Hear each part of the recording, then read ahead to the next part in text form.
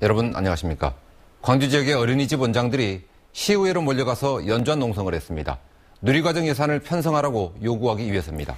네, 정부와 교육청 사이의 극한 대결의 파장이 다른 곳으로도 번지고 있습니다. 먼저 한신구 기자입니다.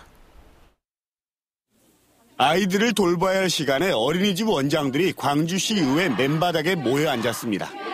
양손에는 누리과정 예산을 편성하라는 팻말을 들고 일제히 목소리를 높였습니다.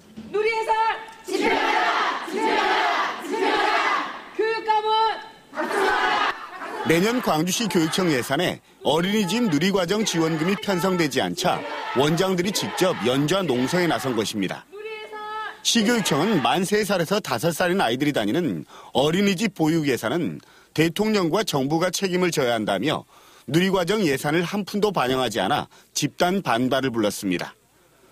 원장들은 정부와 교육청이 모두 다 무책임하다며 더 늦기 전에 대책을 마련하라고 촉구했습니다. 학부모와 또 좋은 누리 담당하는 교사들이 왜 불안해해야 되는지 그 이유를 시교육청에 묻고 싶고 정부에 묻고 싶습니다. 하지만 내년 정부 예산이 확정된 데다 광주시의회와 교육청도 예산 편성이 어렵다는 입장이어서 어린이집 보육대라는 현실로 다가오고 있습니다. MBC 뉴스 한신구입니다.